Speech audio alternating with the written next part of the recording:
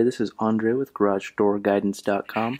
I just want to do a quick, easy video on how to do a little manual slide lock, just like we have pictured here. Um, just very easy. I mean, this thing just slides in and out, just like that, in order for you to be able to secure your door in case of a power outage. Uh, maybe you just want it just for a little extra security. Very simple. Most garage doors have this little slot here specifically for that. See on the other side here. And very simple. All you really need are these little two self-tapping screws here. You can see the little heads on those. Um, for those of you who don't know what self-tappers are. Anyhow, and a 7 16 socket, which we'll be going ahead and using that to drill these into there. Very simple.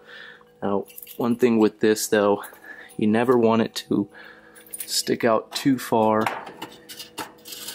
into the socket here. For example, I got that in there.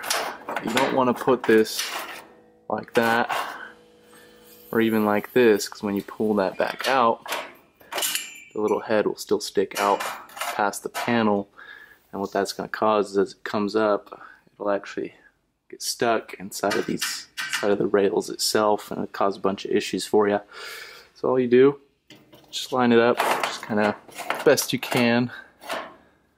See something like I usually do something like right there just enough to where it sticks out and gets it locked but not enough so that it gets stuck. So you just put a screw on the top and the bottom. That's it. Go ahead and do that for you real quick. Set the camera down here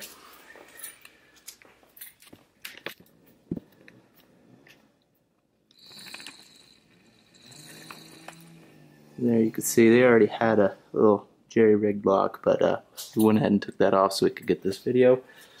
Let's go ahead and pop that on there for us. Like I said I put I usually put the screw all ready for me just like that.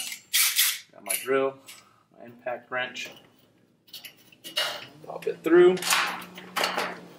Like I said you bring it out just so you get enough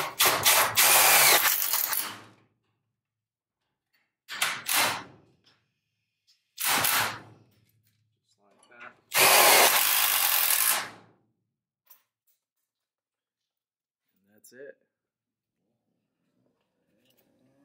Just like that. Very simple. Like I said, see it sticks out right there. Got your two screws holding it down, nice, nice and sturdy like. Like I said, you pull that out, you can see a little head here. It doesn't stick out past the panel, so you won't have any issues. Now, if you've got a manual garage door, uh, you don't have to do anything, just leave it as is. But if you do have an opener, and this isn't going to be a very frequently used option, just put a bolt here through this hole, or make one if you have to with another self-tapping screw. And with that, what that'll do is it'll prevent it from ever accidentally getting locked in, or if you put it locked in yourself and forget, you won't have an issue with it later on.